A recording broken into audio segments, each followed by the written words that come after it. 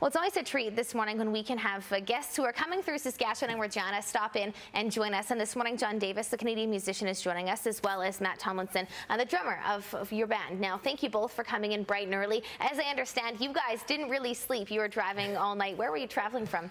Uh, we were traveling in from uh, Winnipeg, a show last night at Infernos in Winnipeg. Yeah, mm -hmm. driving right through the night. Well, I'll tell you, in Saskatchewan, we don't particularly like Winnipeg, obviously, because of the Bombers and considering right. the Riders have a game tonight. I'm telling you this, Regina and uh, the audiences in Saskatchewan are far better, and uh, your music, of course, uh, will resonate with a lot of people in our province. And uh, Jon, you have quite the story. If you can, in a nutshell, give us the synopsis of, of the inspiring movement that led you to the music you have today. Well, basically, um, my first album, which I wrote in 2000, uh, well, I basically I hit my head in 2006, had a brain injury, mm -hmm. and I was going through a really dark time. I wrote a lot of my first album while recovering from this injury. And uh, this album, Open Shore, it's like coming from the other side. And a quote mm -hmm. that from the song Open Shore is, we fought to leave the shipwreck on the ocean floor. Now let the fish swim through the captain's door. Mm -hmm. The shipwreck is down at the bottom of the ocean, and there's new possibilities, and the shore is just totally open. Mm -hmm. for like a new beginning. So with that new beginning, how, how has your music been received so far? Have people uh, really felt inspired and, and the shows, are people into it so far? Absolutely. Mm -hmm. Yeah, and we're getting a lot of attention from the media as well, so it seems like um, positive direction. Yeah, yeah, absolutely. So, Jon, uh, with this album, when people open it up, is, it, is there, you know, you mentioned positive messages, but is, is it slow and steady? Is there some upbeats? Uh, what, what will people find when they open up the album?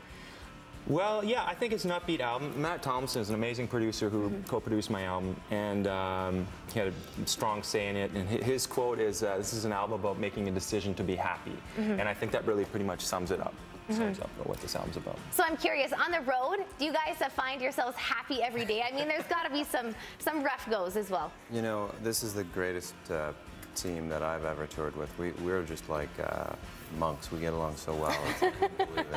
and that's definitely not always the case. No. We're not necessarily always cheery. We have mm -hmm. we have our moments, but we uh, we work very well together as a team. Mm -hmm. Yeah. So Jon, talk about your journey. Uh, you were in Winnipeg yesterday. You're passing through Regina. Uh, where where is this tour going to take you? All the way to Vancouver Island. Our last three shows on the on the way out uh, three shows on Vancouver Island: Victoria, Duncan, and uh, Salt Spring. Mm -hmm. And then uh, and then after that, we had gradually head back, mm -hmm. a couple more shows yeah, on the way back as well. So, Jon, I'm curious. Uh, you talked about how now you have been receiving quite a bit of media attention, and uh, your album has been taking off, and the singles have been doing well. Uh, when do you tell yourself that, wow, you've made it in the music industry? Is that how you think of it, or do you just think of it just that passion because that's the only thing you know is, is music? Yeah, well, I find that we, uh, Matt and I have talked about this a lot, like just like being happy with wherever you are in the moment, no matter how well or, or badly your career is going, because it, it's really hard to tell if your career is doing well or not. And it, once you reach this point, then you get used to that and then you might not feel good when you're there and then you always want to reach higher. Mm -hmm. So you just have to enjoy the, the present moment. Mm -hmm. You have to learn how to be an ant. If you think about little ants and small ants accomplishing little things together gradually over time.